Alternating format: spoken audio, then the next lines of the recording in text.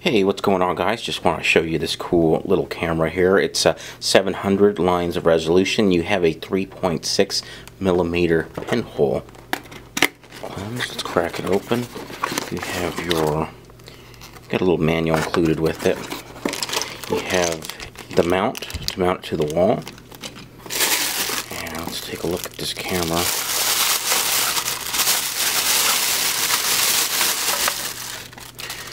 So the lens is right there.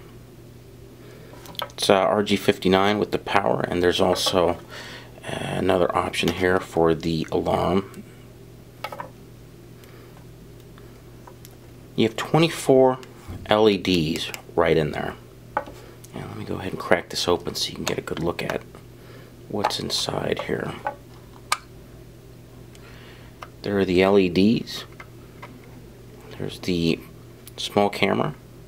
So the LEDs, um, you know, they shoot through there, and I believe the range is 30, around 35 feet. So a cool little camera. For more detailed spec sheet, order online at discountlowvoltage.com.